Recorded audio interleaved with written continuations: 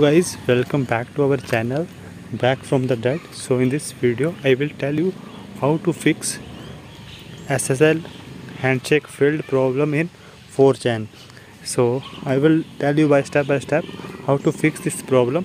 So make sure you subscribe our channel and hit the bell icon for more and more interesting and knowledgeable videos.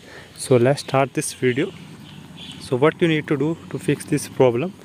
So firstly you need to check your time, uh, time and date and make sure your device time and date is accurate. And if this problem is not solved by your device then use another and try to browse by that uh, that with the help of another browser.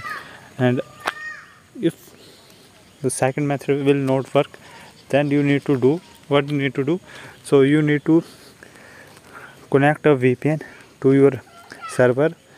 So after connecting a VPN you need to try to access this setting and with the use of VPN your problem will be solved. So that's a very easy method and VPN is most working method in this condition.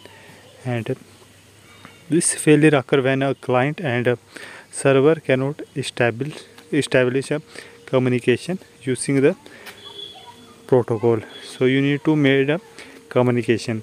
So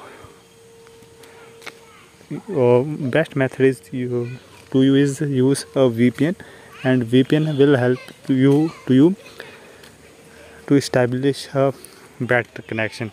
I hope you get valuable information from this video. For more and more interesting and knowledgeable videos you can subscribe our channel. Back from the dead